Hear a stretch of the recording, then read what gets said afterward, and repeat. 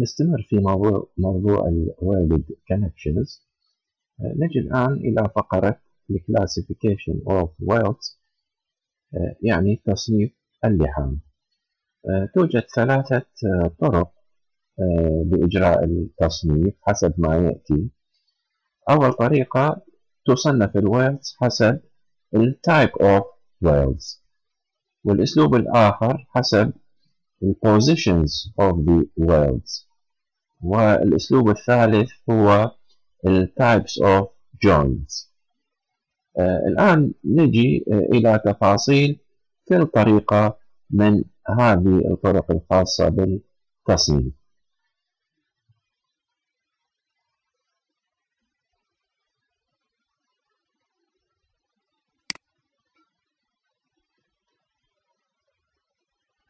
نجي أولا إلى ال type of weld يعني التصنيف حسب ال type of weld بموجب هذا التصنيف هناك نوعين رئيسية من ال welds النوع الأول يسمى بال fillet welds والنوع الثاني هو ال groove welds إضافة إلى هالنوعين الأساسية عندنا نوعين أخرى. هي ال plug welds وال slot welds راح نجي الآن نتعرف على كل نوع من هاي الأنواع. حتى نفهم الاختلاف بين هالأنواع الخاصة بال welds نروح إلى ال figure خمسة واحد.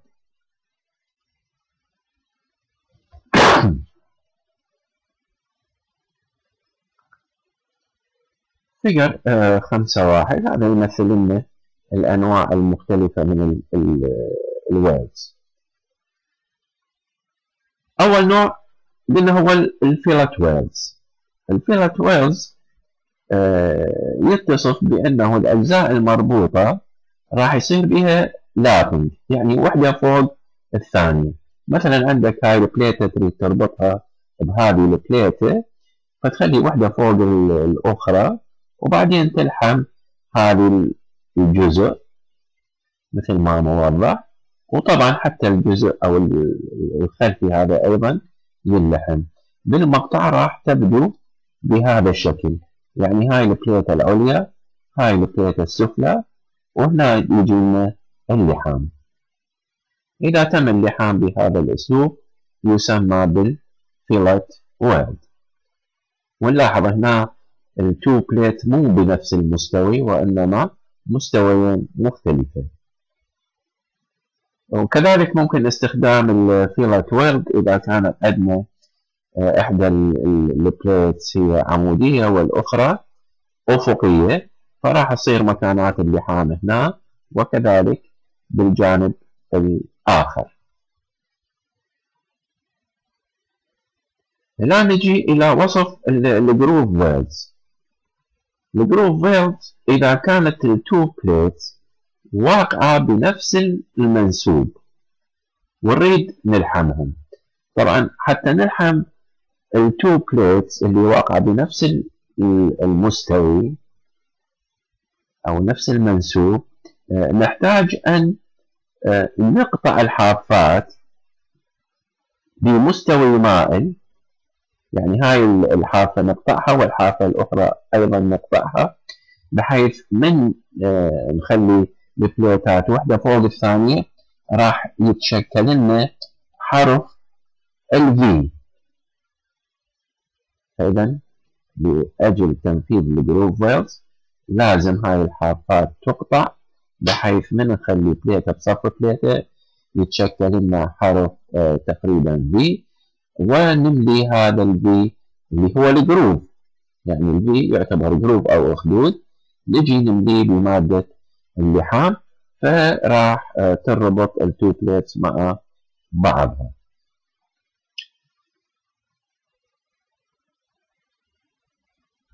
كذلك ممكن أن يكون ال groove مو بشكل الحرف V وإن 2 V وحدة فتحتها للأعلى. ووحدة فتحتها للأسفل وبعدين يتم ملء هذا الفراغ الناتج أو الجروف الموجود آه، من نخلي بليتة ين بليتة أما إذا كانت عندنا بليتة أفقية مع بليتة آه، عمودية فهاي البليتة نقصها بهذا الحافة مالتها آه، تقص بهذا الشكل. والجزء العمودي يقص بهذا الشكل ومن نخلي وحدة يم الثانية راح أيضا يتشكل لنا حرف V وهذا يملأ بالويب. إذا تم اللحام بهذه الأساليب نسميه complete penetration groove weld complete penetration بمعنى اللحام يخترق كل العمق. يعني هسه نلاحظ بالأشكال الثلاثة أنه مادة اللحام آه، تخترق العمق بالكامل. آه، في أحيان أخرى ما نستخدم ال complete penetration نستخدم ال partial penetration. يعني الحافة نقطع جزء من العمق بشكل مائل.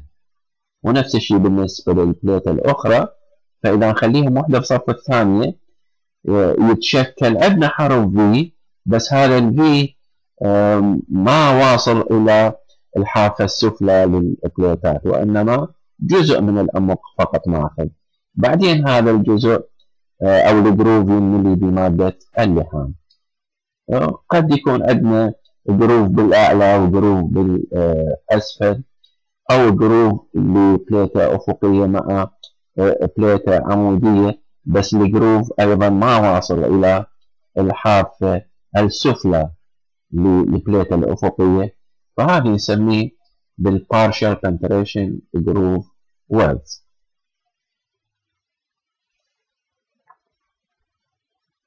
نجي الآن إلى الأنواع الإضافية اللي هي السلوت ويل وال plug weld آه هذه الأنواع من ال welds لها آه استخداماتها الخاصة. على سبيل المثال إذا كانت عندنا two plates نريد نلحمهم. آه نلحمهم بال fillet weld بهذا الأسلوب. طبعا هنا أكو fillet weld وهنا أكو fillet آه، weld بس إذا كان هذا ال fillet weld غير كافي لتحمل القوة الخارجية المسلطة على هذا الـ member. معناها لازم نقوي اللحام.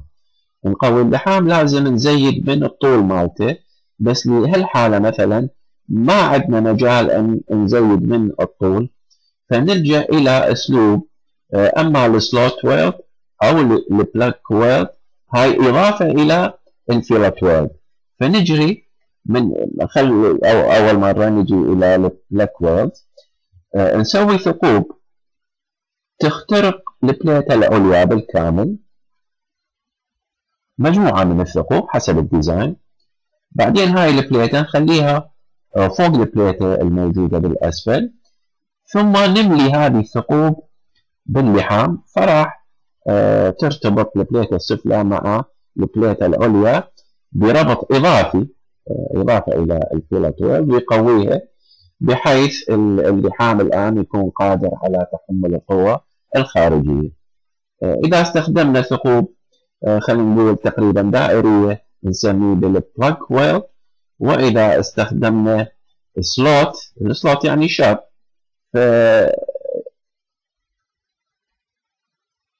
أيضا هذا ال slot بعدين يملأ بمادة اللحام ويسمى بال slot weld آه، كذلك هالأنواع ال plug weld وال slot weld ممكن أن تستخدم آه، بربط الكفر plate بالبيلت اب ممبرز يعني إذا عندك بليت تريد تربطها ب flange W shape section مثلا فحتى تربطها أكو أساليب مختلفة للربط.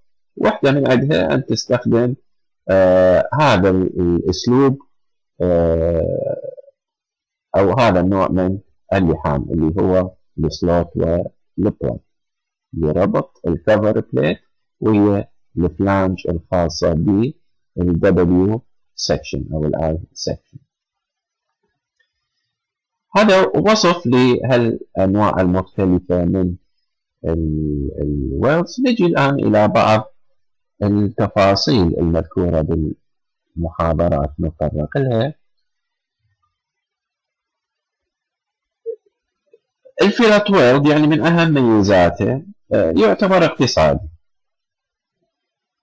وفي الحقيقة أغلب آه، أعمال اللحام الموجودة بالمنشآت الحديدية خلينا نقول تقريبا 80% من عندها يستخدمون ال fillet weld. ال fillet weld آه، قلنا اقتصادي وبنفس الوقت يحتاج إلى لحامين متوسطي الكفاءة. لحامين متوسطي الكفاءة.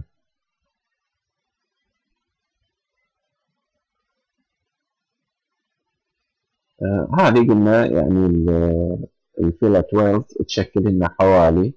قلنا هي الأكثر استخداما آه تقريبا 80% من أعمال اللحام تتم باستخدام ال fillet weld آه بالنسبة لل groove weld آه قلنا القطع المطلوب لحمها راح تكون lined up in the same plane يقعون بنفس المستوي وهذه هذا النوع من اللحام اللي هو ال groove weld آه، يشكل تقريبا 15% من أعمال اللحام الموجودة بالمنشآت.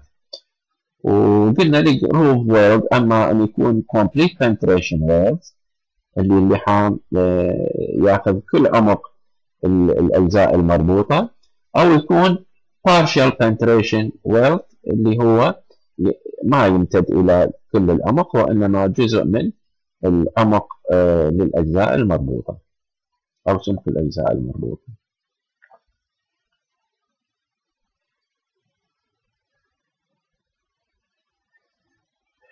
ال groove welds يعني من خصائصها أيضا more expensive than fillet آه، welds وتحتاج إلى عمال آه، ماهرين. أو لحامين ماهرين. أما فيما يخص ال plug and slot weld وضحنا شلون آه، تتم بعمل ثقوب أو شقوق ويتم آه، في إحدى البليتين وبعدين هذه الشقوق أو الثقوب تملأ بمادة اللحام. هذه ميزاتها these two these two يعني ال plug and slot are expensive type of uh, لكن نحتاجها وين آه إذا مثلا كان عندنا آه ال fillet weld ما يكفي فهذا دعم لل fillet weld آه حتى يتحمل القوة الخارجية المسلطة وكذلك يستخدم بال cover plate إذا تربطها على ال flange of a built up آه أيضا راح آه ممكن أن تستخدم هذا النوع من ال welds هذا إذا التصنيف الأول. الآن نجي إلى التصنيف الآخر. حسب ال position خلينا نروح لل figure اللي يوضح لنا شنو معنى ال weld position هذا ال figure. هذا بمنشأ ومستخدمين ب welds بوضعيات مختلفة أو أماكن مختلفة تصنف إلى فلات ويل هاي بالأرضية يعني يصير بهذا الشكل بحيث الشخص اللي يقوم بعملية اللحام يكون أعلى من آه، منطقة اللحام وهذا البلين يكون أفقي فتقدر تحصل على الفلات ويلد أما إذا كانت عندك مثلا هاي plate وهاي plate تريد تلحمهم فراح تستخدم vertical weld راح يكون آه، عمودي أو شاقولي أما إذا كان عندك هاي بليتة والجواها بليتة أخرى فراح تستخدم horizontal weld اذا هذا horizontal. Horizontal على سطوح شاقولية. يعني هو البليتات شاقولية وأنت جاي تلحمهم ب weld horizontal وقلنا هذا نسميه بال vertical وهذا بال flat هاي ثلاث أنواع. النوع الرابع هو ال overhead weld هاي القائم باللحام راح يكون آه يعني أسفل الأجزاء اللي يريد يلحمها فمثلا هنا واقف آه عامل اللحام واللحام صاير فوق رأسه. لذلك يسمى بال overhead weld يعني مثلا عندك سقف وبي آه لحام. فراح تستخدم هذا النوع من اللحام اللي هو overhead weld فاذا عندنا أربع أنواع flat vertical horizontal overhead. هذا حسب ال position حسب موقع اللحام.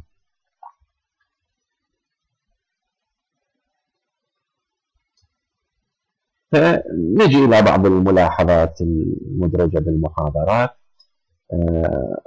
عندنا حسب ال position قلنا flat horizontal vertical overhead هذني مكتوبات بشكل متسلسل حسب كلفتهم. أرخصهم هو الفلات وأكثرهم كلفة هو الأوفرهيد. فإذا مرتبات حسب التكلفة.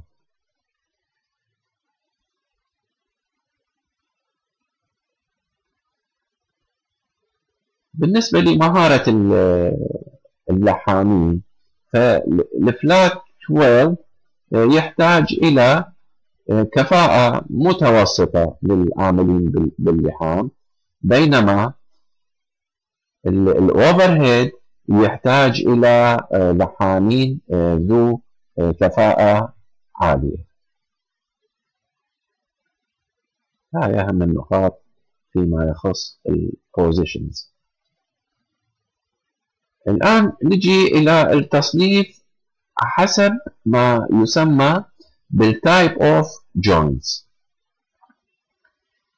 حسب ال type of joints نقدر نصنف بالشكل التالي. Butt joint إذا كانت ال two plates بنفس المنسوب وطبعا هنا معناها راح نستخدم ال groove welding فهذا النوع من الربط يسمى butt joint يعني حسب جاي نصنف حسب ال joint آه إذا كانت عندنا بليته بالاعلى بليته بالاسفل وأيضا هنا لاحمينهم هنا طبعا هذا اللحام المستخدم هو من نوع ال fillet weld بس ك joint تسمى بال lap joint هذه ممكن أن نسميها T joint هذه edge joint وهذه corner joint فهذه حسب يعني التصنيف حسب ال type of joint الآن نجي إلى أكثر أنواع اللحام استخداما اللي قلنا هو ال fillet weld وناخذ تفاصيل أكثر عنه. أول ما أهم ما يميز هذا النوع من ال welds إنه ال strength مالته.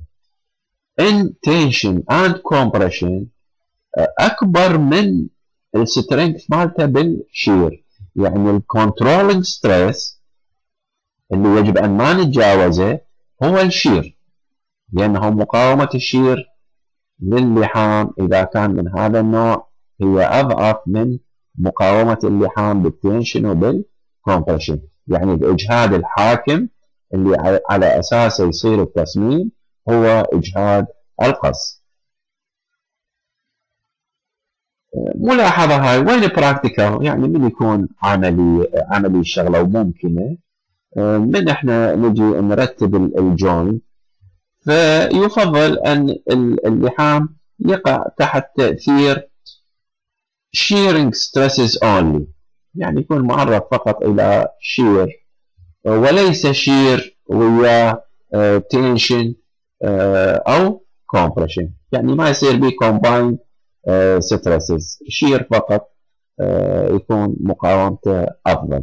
ما يندمج وياها tension أو compression.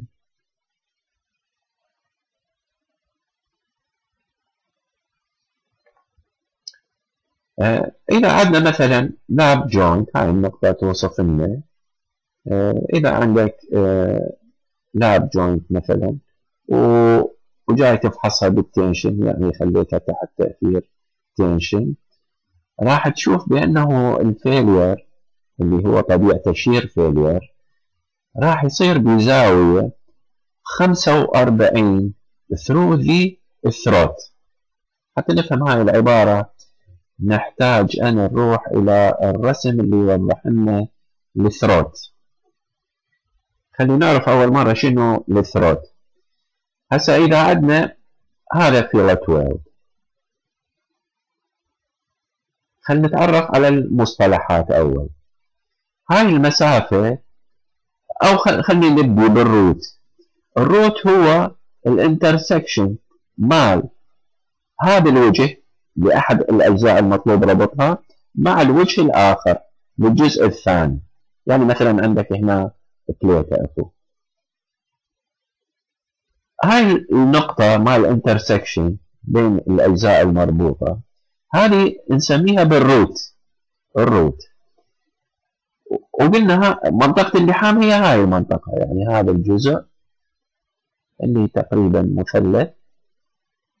هذا يمثل لنا منطقة اللحام.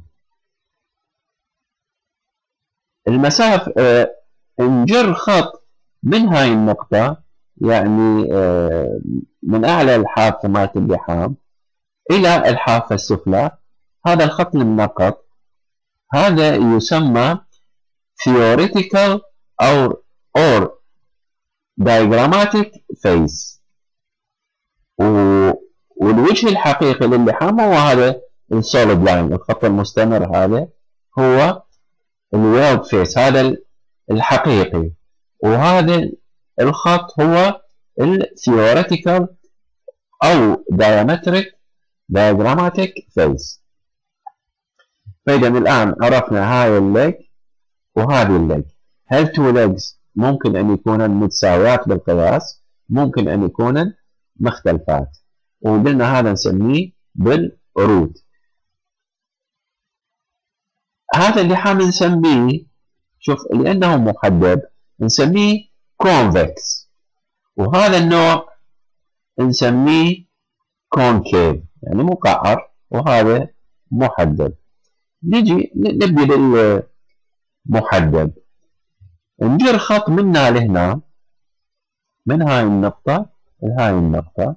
قلنا هذا الخط نسميه ال theoretical face أقصر مسافة بين ال root وبين هذا الخط اللي يمثل لنا ال theoretical face نسميه بال throat أو ال theoretical throat فإذا ال throat هو هاي أقصر مسافة تصل بين ال root وبين الخط اللي يمثل لنا ال theoretical face هاي المسافة طبعا مهمة. دائما راح نحتاجها بعدين من نجري الحسابات اللي هي قيمة ال throat قيمة ال throat هي أقصر مسافة بين ال root وبين ال theoretical face مالت اللحام هاي المسافة.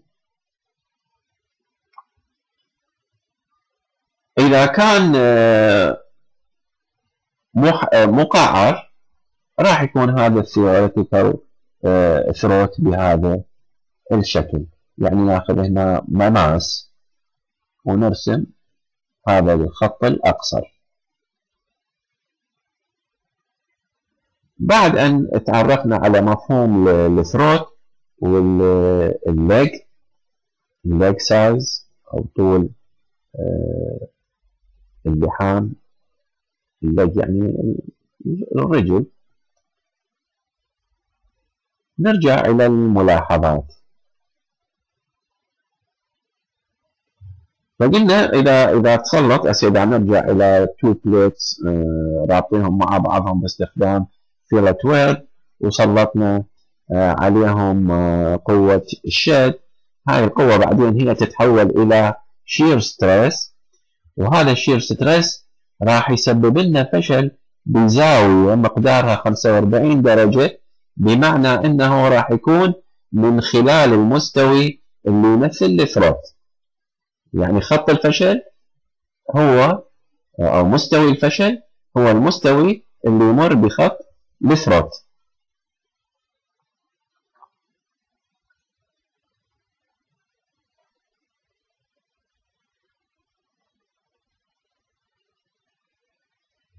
ال throat area هسه إحنا شفنا ال throat كخط. بس إذا تمد هذا الخط إلى الجانب الآخر من اللحام فالمستوي يعني إحنا عندنا إذا ناخذ أي قطعة لحام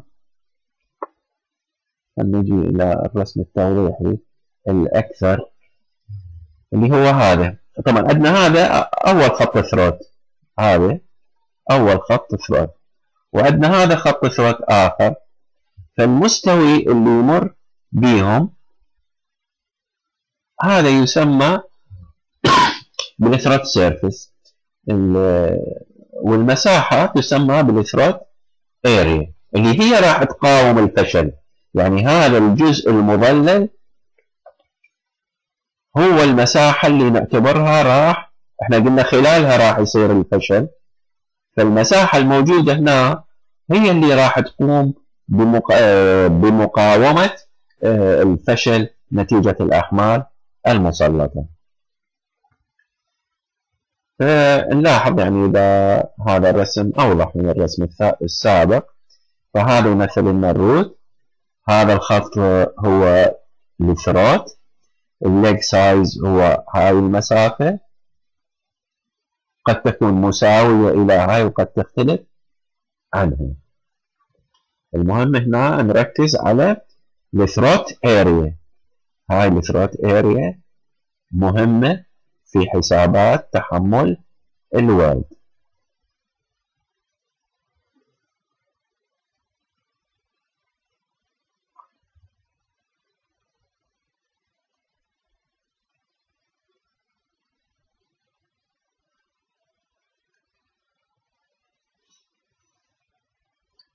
لا نجي إلى هاي العبارة. آه، اللي قلنا ال legs مالت الويب قد تكون متساوية.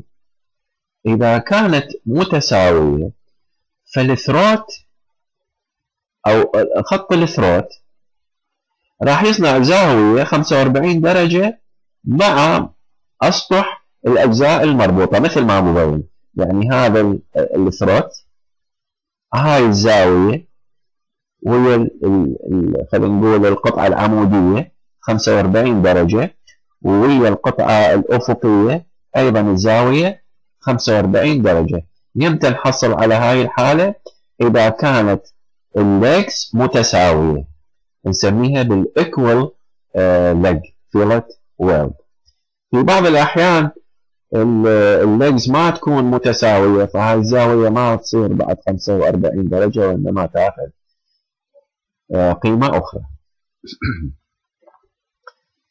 هنا عادة إحنا بال fillet weld آه ننطي ال size ماله يعني مثلا نقول آه هذا ال fillet weld ال size ماله قد رقم معين.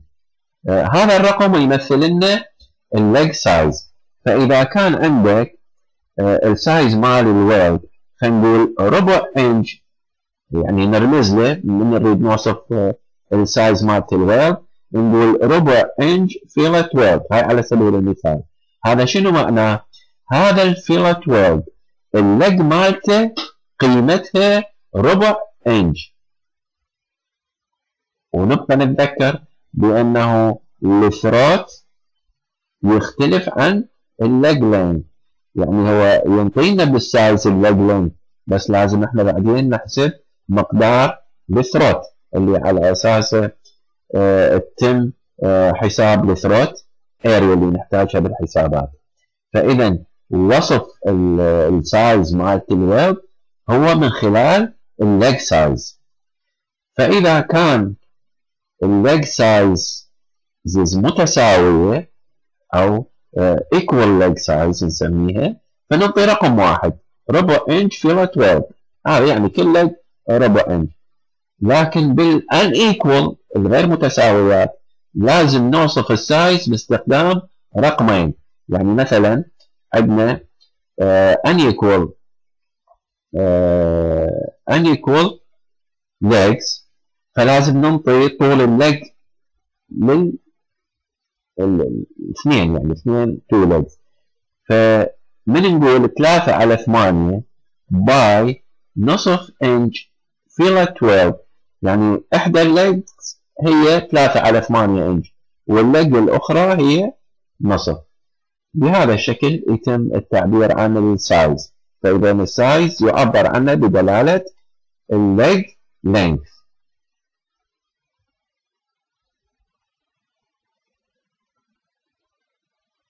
إذا كانت ال fillet weld equal leg إذا كان equal leg فقلنا الزاوية راح تصير 45 بين ال throat وبين الأسطح الملحومة. ال throat قيمته راح تساوي 0.707 times the leg وهاي تنحفظ. يعني ال throat dimension يساوي 0.707 مضروب في قيمة ال leg أو ال leg size فإذا هاي هي العلاقة اللي تربط بين ال throat length وال leg length. طبعا راح يكون أقل. يعني ال throat يساوي 0.707 في طول ال leg نحصل على قيمة ال throat بس إذا كان غير مساويات ال legs فنحتاج أن نستخدم النظريات الخاصة بالمثلثات لحساب ال throat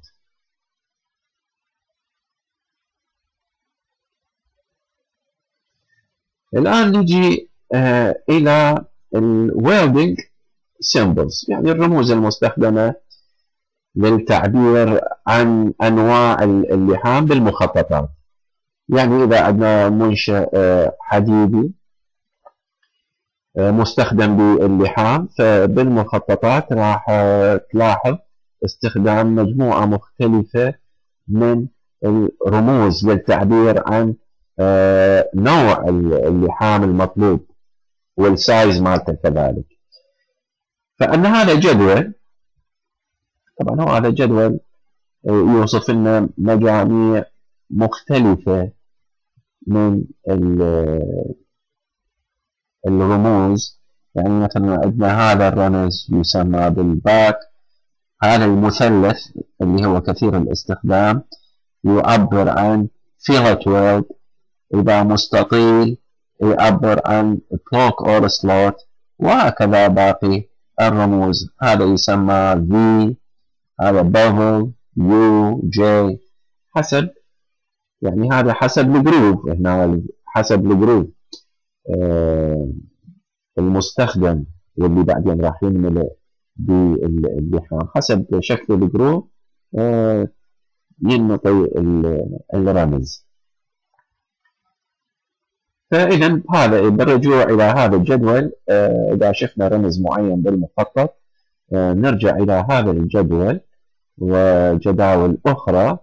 آه، نقدر نعرف شنو المقصود بهذا الويب كمثال توضيحي إذا ناخذ مثلا هذا عندنا بليتة مربوطة مع بليتة باستخدام لحام بهذا الجانب فقط. هذا اللحام هو من نوع الفيلت ويلد فهذا التمثيل الحقيقي. التمثيل بالمخططات راح يكون بهذا الشكل. يعني يسوي لك هنا هذا السهم هذا السهم ويأشر على هالنقطة. معناها هنا عندك fillet weld ال size مالته ربع. شوف ربع inch fillet weld يعني طول ال leg لهذا ال weld هو ربع انش هاي الستة تمثل طول اللحام. ستة inch long on near side بالجانب القريب. يعني بس هذا الجانب.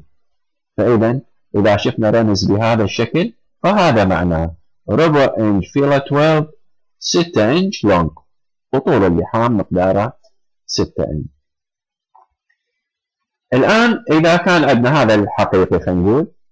عندك آه، نفس القطعتين بس هالمرة مربوطة آه، أو مستخدمين بها لحام على الجانبين. بهذا الشكل. التأشير يصير بهذا الأسلوب. يؤشر لك على هالمكان بس هنا شوف يستخدم مثلثين. مثلث بالأعلى ومثلث بالأسفل.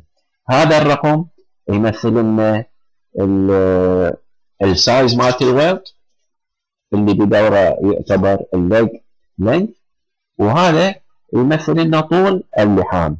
فإذا شفنا هذا الرمز هذا شنو معناه ربع inch fillet weld 8 inch long on both sides. يعني هو مؤشر هنا بس لأنه مستخدم مثلثين معناها هال side وال side الآخر. بهذا الشكل آه، ممكن أن نرجع إلى الجداول الخاصة برموز